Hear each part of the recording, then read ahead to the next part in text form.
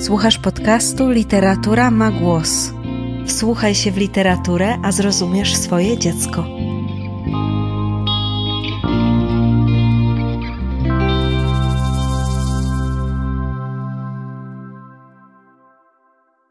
Dzień dobry, witam Państwa bardzo serdecznie w nowym roku. Pierwsze dni stycznia to czas, gdy podsumowujemy rok ubiegły, rozliczamy się ze swoimi planami, wyliczamy sukcesy, ale przede wszystkim czujemy wdzięczność względem wszystkich tych osób, dzięki którym chwile były pełne dumy, radości. I niewątpliwie taką chwilą była gala polskiej sekcji IB, na której nastąpiło rozdanie nagród na najlepszy książek dla dzieci. Uroczystość odbyła się w grudniu, a dziś jest z nami laureatka, pani Dorota Combrzyńska-Nogala, autorka książki okrzykniętej Książką roku 2023 pod tytułem Odysejki, wydanej oczywiście przez wydawnictwo Literatura. Dzień dobry, pani Doroto. Dzień dobry.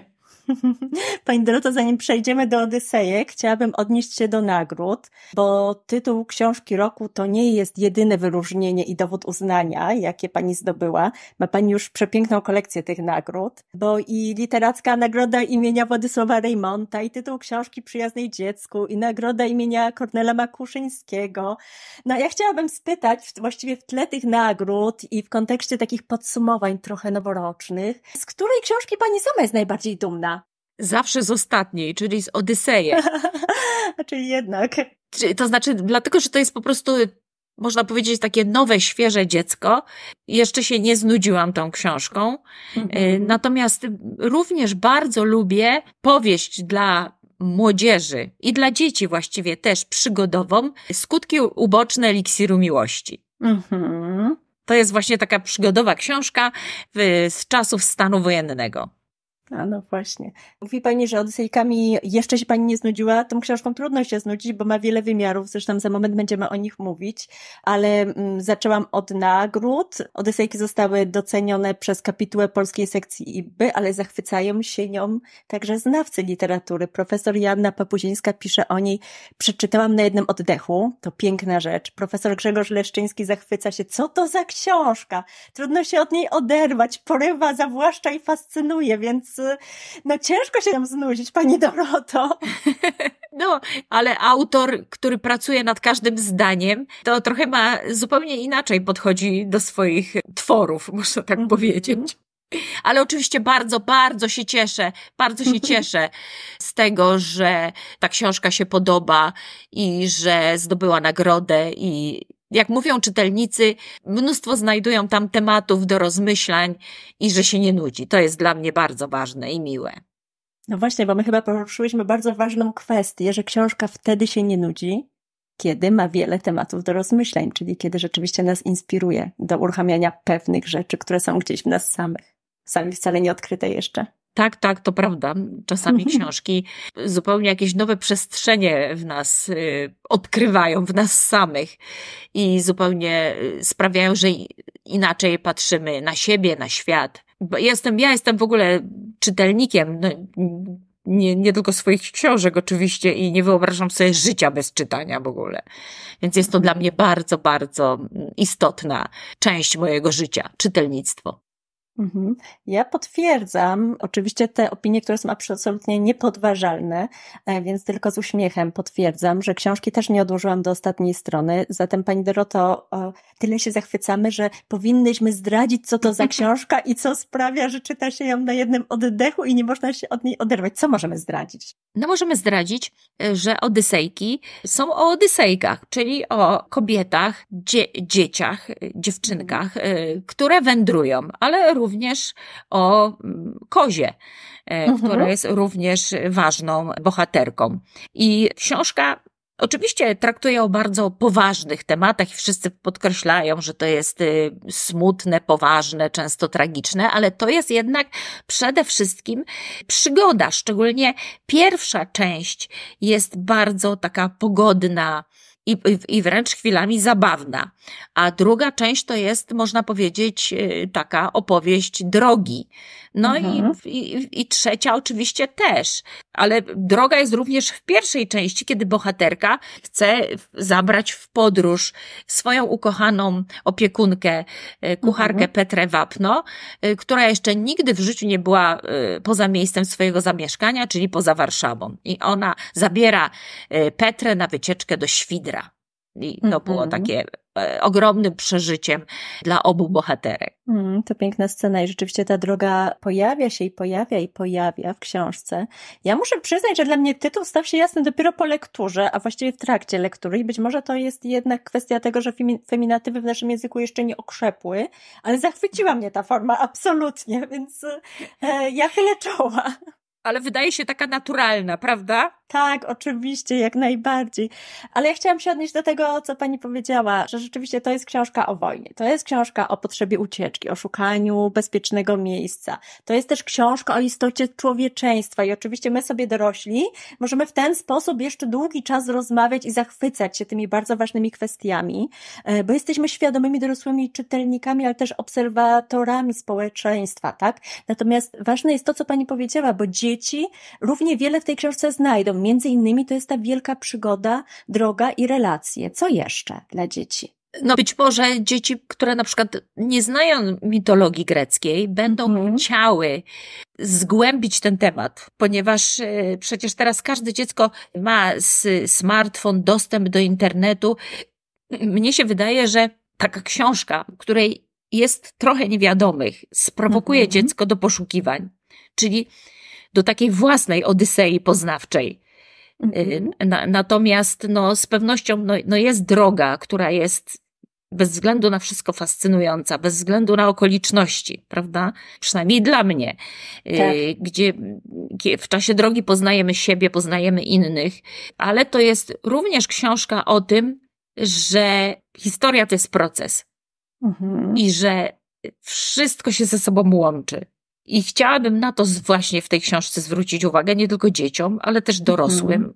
ponieważ no uważam, że to jest również książka dla dorosłych, którzy wydaje mi się, że nawet więcej mogą e, w niej odnaleźć niż dzieci. Mhm. Natomiast przed dzieckiem no jest po prostu trochę dłuższa droga do, do, do jakby takiego pełniejszego odczytania mojej książki.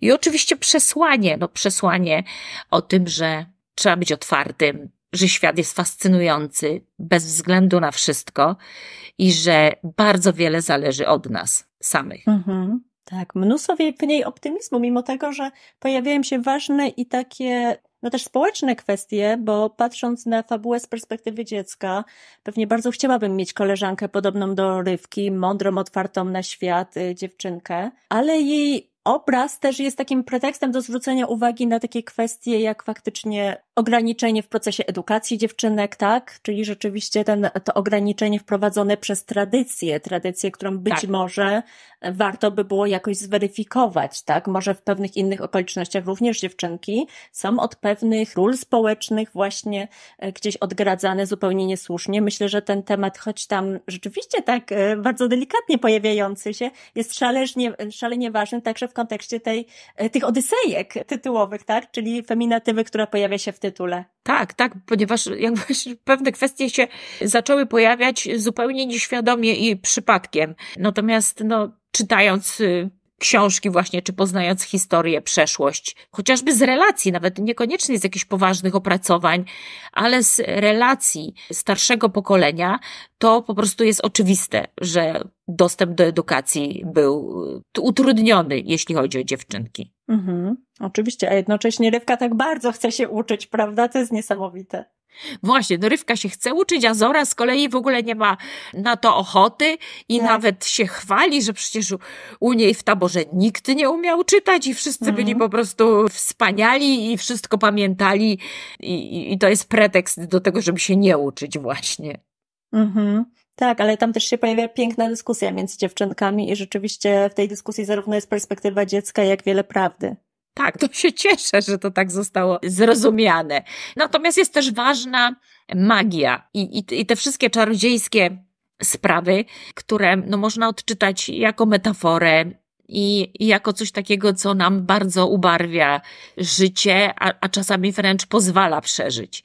Mhm. I tak jak w przypadku moich bohaterek, szczególnie Petry, prawda? Traumatyczne tak. wydarzenia i to dzięki właśnie tej, tej magii, tej, tej mitologii, można powiedzieć, jakoś udało jej się przetrwać i nie tylko przetrwać jej samej, tak, ale również uratować y, dziecko. To ważna kwestia, którą Pani poruszyła. Ja właściwie oprócz tej e, magii chciałabym jeszcze jedną rzecz podkreślić, bo co to za, co ja szczególnie cenię tę, tę książkę, e, to brak obrazowania wojennego okrucieństwa bo właściwie my wiemy, jak ważne kwestie są tam poruszone, jak poważne e, sytuacje są zobrazowane, a jednocześnie nie ma okrucieństwa. Udało się Pani bez tego zatrzymać nie tylko uwagę, ale mam wrażenie, że też emocje czytelnika. A wspominam o tym dlatego, że wielu rodziców obawia się, iż książki poruszające tematy wojenne ze względu na brutalność scen mogą być nieodpowiednie, czy faktycznie budować niewłaściwe emocje u dziecka, ale także dzieci, także zupełnie duże dzieci czasami nie chcą ich czytać albo je odkładają, więc naprawdę z perspektywy czytelnika, ale też z perspektywy jakiegoś pośrednika czy pośredniczki między literaturą, między tym, co e, autorzy dostarczają dzieciom, tak, e, serwują w swoich książkach, a e, już docelowym czytelnikiem, docelowym odbiorcom naprawdę bardzo, bardzo mocno to cenię, bo nie jest to łatwe. Więc jestem mocno zainteresowana, jakie jest Pani zdanie. Czy jest to jakiś proces twórczy, który jest celowy i czy może jednak mimo wszystko widzi Pani jakieś fragmenty w tej książce, na które rodzic powinien zwrócić szczególną uwagę albo może przygotować się na rozmowę z dzieckiem? Bo przecież te rozmowy, nawet trudne, powinny w pewnych sytuacjach następować. Tak, oczywiście. No, czy wydaje mi się, że, no właśnie, tu to, co powiedziałam wcześniej, że z rodzicem czy z osobą dorosłą ta lektura będzie dla dziecka pełniejsza, bo on mhm. oczywiście nawet na poziomie słownictwa y, będzie mógł y, dziecku pewne rzeczy wyjaśnić, dopowiedzieć. Natomiast wydaje mi się, że jednak dzieci wiedzą, z czym się wiąże wojna. Tak. I wiedzą, że to jest głód, że to są bombardowania, że to jest śmierć, choroba, okaleczenie, ponieważ takie informacje do nich docierają.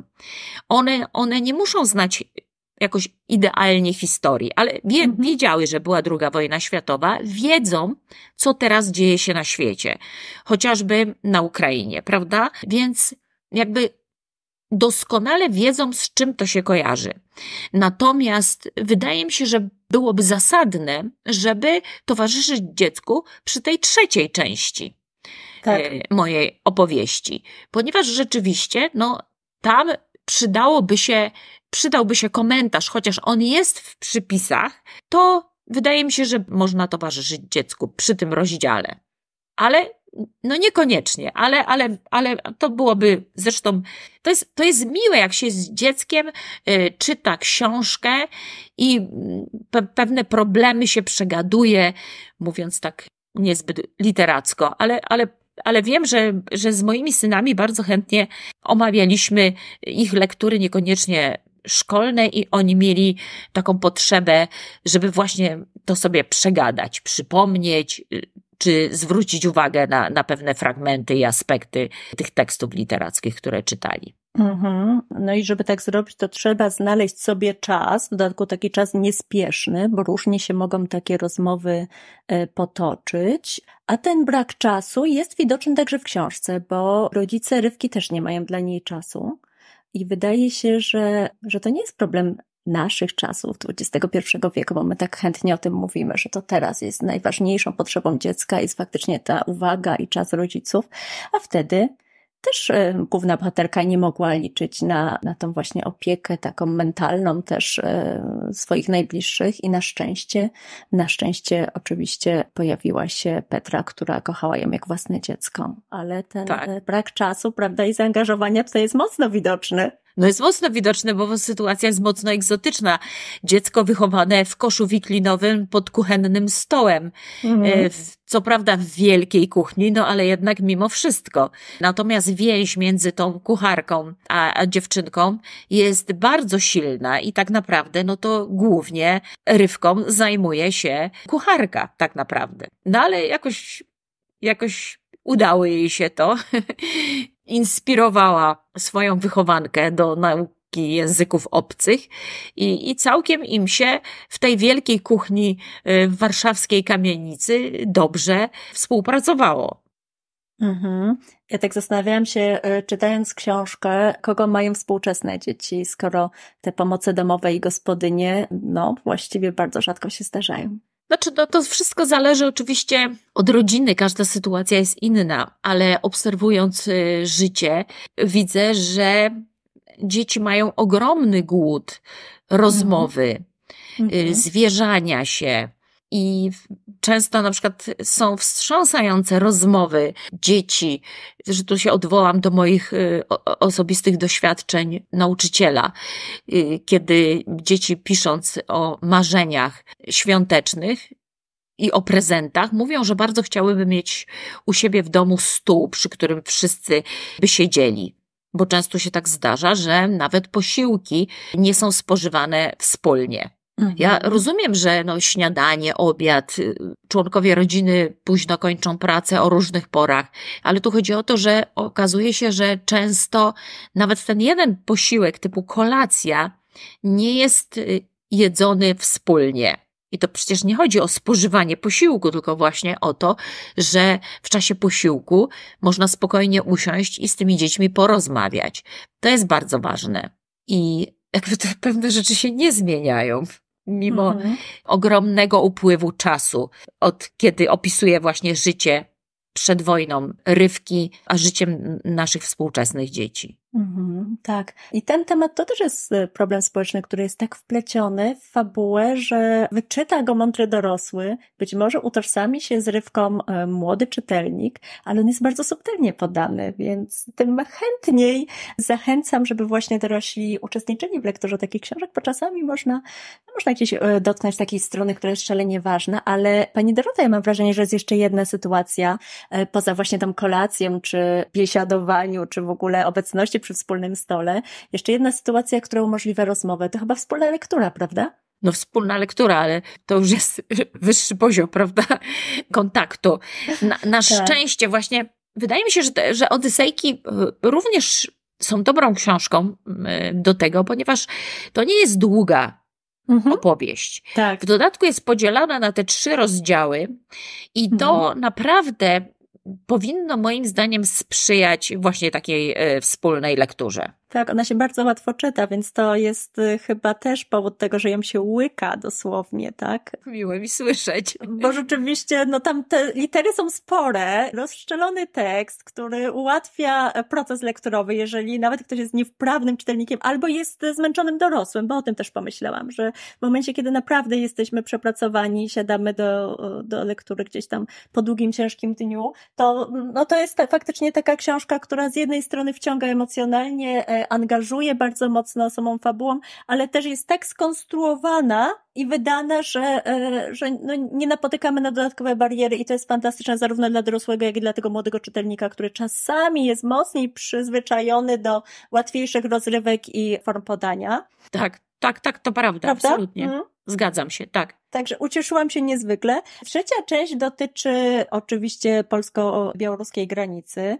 Nieszczęścia ludzi niczemu niewinnych, którzy musieli opuścić domy, uciekając przed niebezpieczeństwem. No i nawiązanie jest bardzo oczywiste i poruszające do czasów wojny. Chciałabym spytać, jak chciałaby Pani, by ta książka zmieniła nasze głowy i serca? Czy miała Pani faktycznie w sobie, jako twórczyni, takie myśli, że może, jeżeli przeczytają właśnie pytanie, kto dorośli, dzieci, to sobie pomyślą to i to, albo może będą mieli wpływ na dalszą sytuację?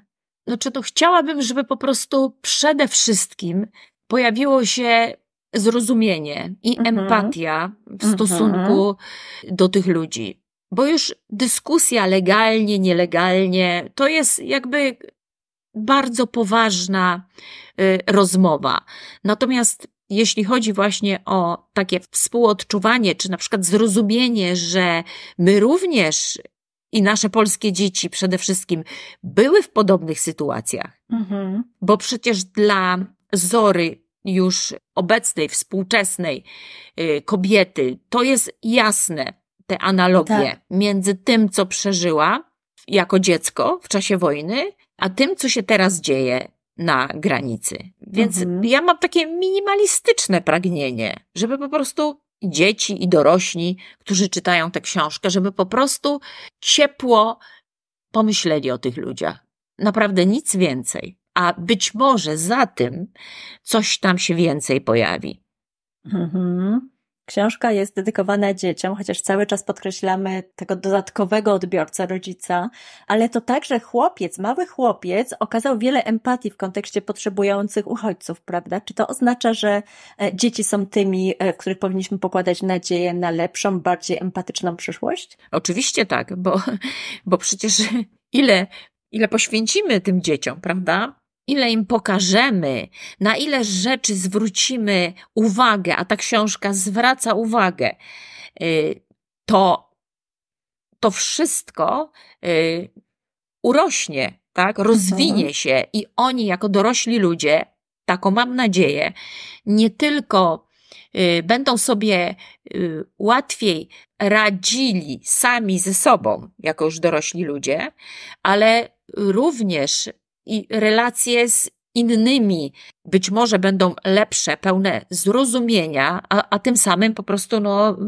mm, ten świat być może będzie lepszy, tak myślę. Mhm. Czy na coś jeszcze powinniśmy zwrócić uwagę? Bo e, rozmawiamy, ja w tym momencie przypominam sobie kolejne perełki, które się pojawiają w tej książce, jak choćby moment, kiedy Zora staje oko oko z przeszłością, czyli musi wejść do lasu, którego no, nie boi się, ona ma traumę po prostu z dzieciństwa, tak? I to jest walka z własnymi strachami, z, z własną przeszłością i jednocześnie zestawiona z tym, że chce się pomóc komuś innemu i tego typu sytuacji tam jest mnóstwo. Czy jeszcze o jakiejś powinniśmy wspomnieć? No nie wiem. E, wydaje mi się, że też, e, znaczy ten, ten kobiecy wątek mhm. i, i, i, i kozi też, bo koza, no tutaj koza duch, prawda? Taka niepokorna i wesoła, też można tak powiedzieć. Również no, jest żywicielką, prawda? Mhm, jest mhm. symbolem przetrwania. No i tego, że to kobiety w czasach wojny i w czasach wszelkich zawirowań, to niekoniecznie musi być y, jakiś konflikt zbrojny, prawda? Ale to tak naprawdę to na kobietach ciąży to przetrwanie. Przynajmniej do tej pory tak było, że to dzięki nim po prostu to życie się toczyło, to na poziomie takim podstawowym. I często ja spotykam bardzo mocne kobiety, naprawdę. I wszystko jedno, czy to są dziewczynki, kobiety dojrzałe, kobiety starsze już, to właśnie mm, one zmieniają świat na tym poziomie takim podstawowym, można by powiedzieć. Takim, mhm. no, bardzo istotnym, ale na co dzień niezbyt zauważalnym. Mhm. Tak, to prawda. Oj, to bardzo wiele kwestii i bardzo wiele pięknych myśli, które się pojawiło. Nie pozostaje mi nic innego, jak przyłączyć się do pięknych i ważnych rekomendacji Odysejek. To, co chciałabym podkreślić, to faktycznie to, że jest to znakomita lektura nie tylko dla dzieci, nie tylko dla młodych czytelników, ale powinni też dla własnej przyjemności przeczytać ją rodzice i opiekunowie. Pani Doroto, serdecznie gratuluję nagrody, ale przede wszystkim gratuluję książki i książek. Czekam niecierpliwie na kolejne, a za dzisiejsze spotkanie serdecznie dziękuję. Serdecznie dziękuję. Do widzenia.